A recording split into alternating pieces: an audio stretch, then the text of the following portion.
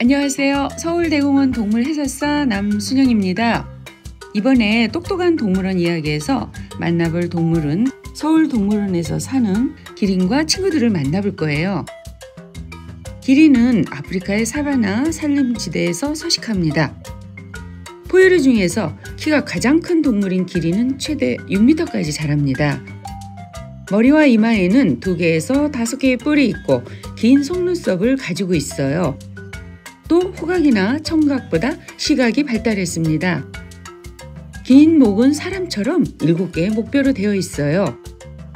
앞다리는 뒷다리보다 길어 앞다리를 벌리고 물을 마십니다. 그물무늬 기린의 무늬는 흰색의 좁은 테두리로 둘러싸인 다각형이 마치 그물 같아서 그물무늬 기린이라고 한답니다. 무늬는 사람의 지문처럼 저마다 다르게 생겼기 때문에 서로를 구분해낼 수 있어요. 그랜트 얼룩말은 아프리카의 사바나, 초원, 시야 같은 덤불에서 서식합니다. 수컷과 여러 마리의 암컷, 새끼들로 무리를 이루고 있습니다. 목이 길고 위아래 앞니가 발달해 있어 낮은 풀과 뿌리를 뜯어 먹을 수 있습니다. 그랜트 얼룩말은 물과 몸통, 엉덩이, 다리, 꼬리에 굵고 선명한 흑백의 줄무늬가 새겨져 있어요. 그런데 얼룩말의 줄무늬는 어떤 역할을 할까요? 바로 천적을 혼란스럽게 하기 위한 것인데요.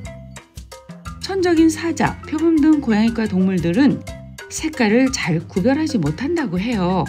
그래서 얼룩말들이 무리지어 있으면 마치 한 마리의 커다란 동물같이 보인다고 합니다.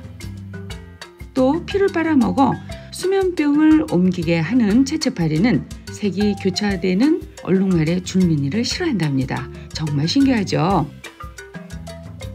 갬스복은 남아프리카에서 분포하고 건조한 반사막지대나 나무 그늘이 있는 곳에서 서식합니다.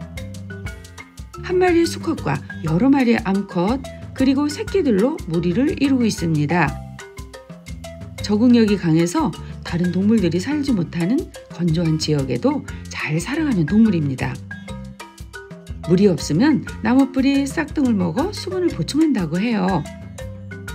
갬수북의 무기는 바로 창 모양의 뿔이라고 하는데요. 길고 우뚝 솟아나 있는 뿔은 포식자로부터 살아남기 위한 이들의 무기랍니다. 기린은 30년간 개체수가 40%나 감소했습니다. 국제기린 보호협회는 6월 21일 하지를 목이 가장 긴 동물인 기린의 날로 지정해 매년 전 세계 동물원에서 기린 보호에 앞장서도록 하고 있어요. 기린뿐만 아니라 여러 초식 동물들이 도로 건설과 산불로 인한 서식지 파괴, 불법 밀렵 등으로 인해 개체수가 감소하고 있습니다. 사라져가는 초식 동물들을 지키기 위해서 많은 관심을 가지고 함께 지켜주세요. 지금까지 저는 서울동물원 해설사 남순영입니다. 감사합니다.